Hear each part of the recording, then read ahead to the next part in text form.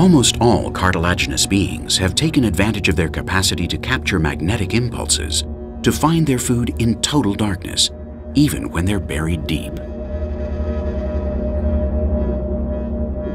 Sharks and stingrays possess organs known as ampullae of Lorenzini, distributed along their entire head, forming a network of sensitive pores.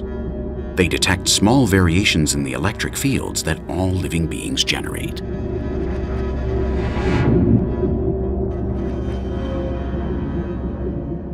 But the marbled torpedo ray goes even further, as they're capable of producing electric discharges to shock and even paralyze their prey, or defend themselves against aggression. The intensity of the discharge varies with the size of the individual and with the time that has elapsed from its last use, since it has to recharge its electric generators.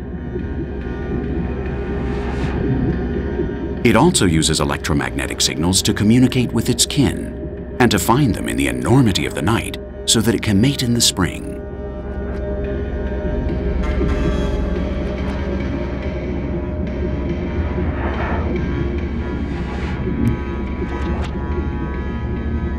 They're ovoviviparous, and in September, this female will give birth to between 5 and 35 offspring. Miniature replicas 7 to 10 centimeters long that are totally self-sufficient. Until then, they will patrol the sandy seabeds close to the coast, feeding off small fish, mollusks, and cephalopods buried in the sand.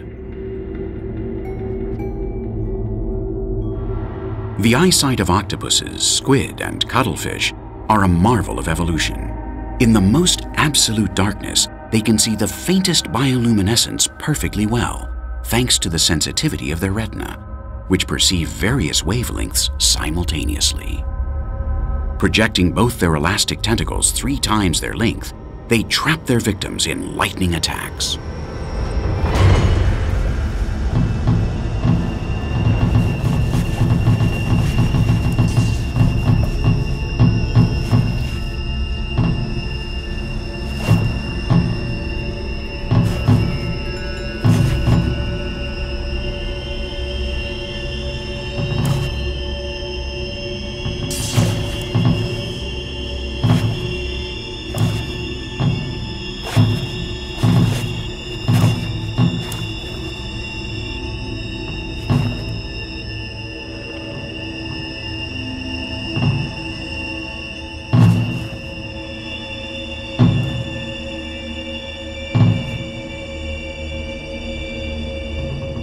Once bound by its other eight shorter legs, it begins to chew it with its parrot-like beak, which is so characteristic of cephalopods.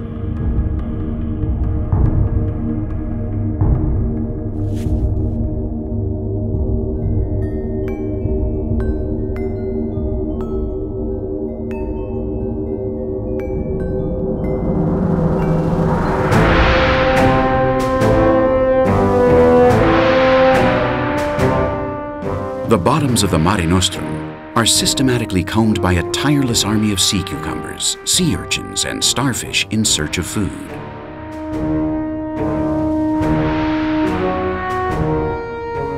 With the exception of small ocellum found on the tips of the arms of some starfish, these spiny creatures lack any real vital organs.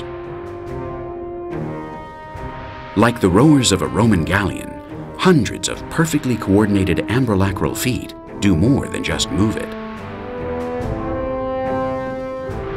Sensitive epidermal cells are the primary receptors, but their feet also aid in breathing and in the reception of luminous, tactile, and chemical stimuli to help in the difficult task of perceiving its environment.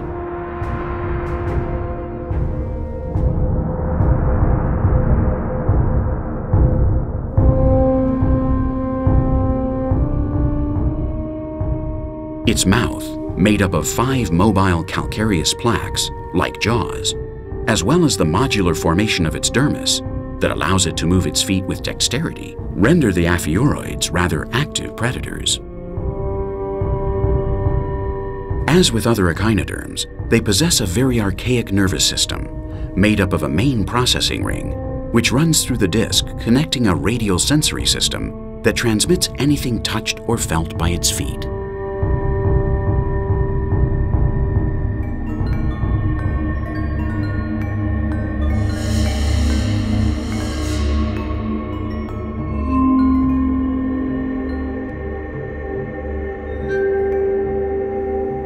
Many fish choose an intense shade of red to go unnoticed before their predators. This is because without artificial light, it reflects a wavelength similar to an undefined shadow that isn't easily perceived. And if they remain immobile, they have a greater chance of surviving another night.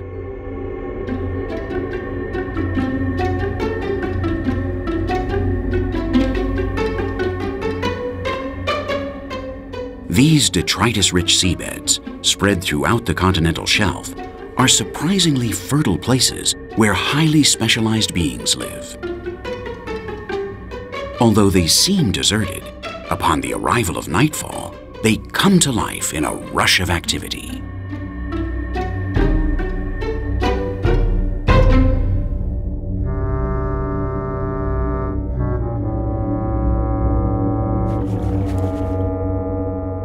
Some benthic beings use these sediments to hide, hoping not to be seen by their prey or their predators.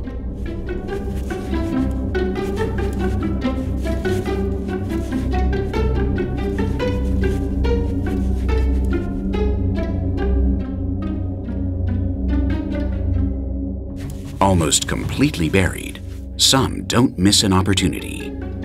And although they're diurnal animals, the voracity of their species makes them attack on reflex.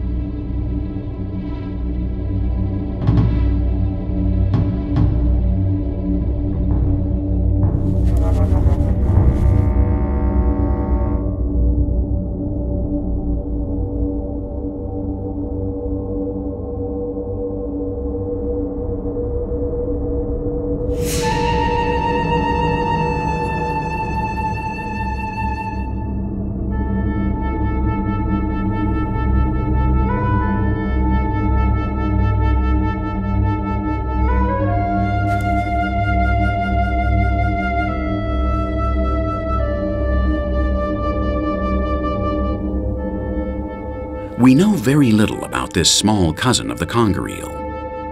Although it's amply extended throughout the sedimentary coastal platforms of the Mediterranean, the Atlantic, and even the Northeast Indian Ocean and Red Sea, the behavior of the so-called Balearic conger eel is still a mystery to science.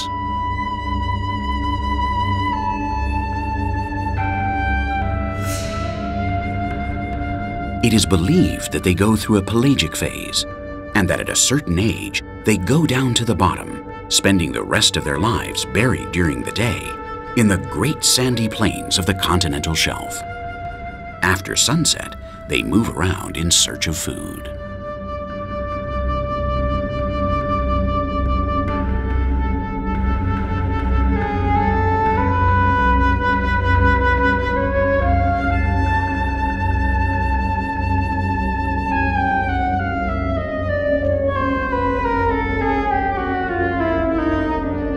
It seems that through their marked lateral line and the extreme sensibility of its crystalline skin, they might be able to feel vibrations that warn them of approaching intruders, even when buried in the sand.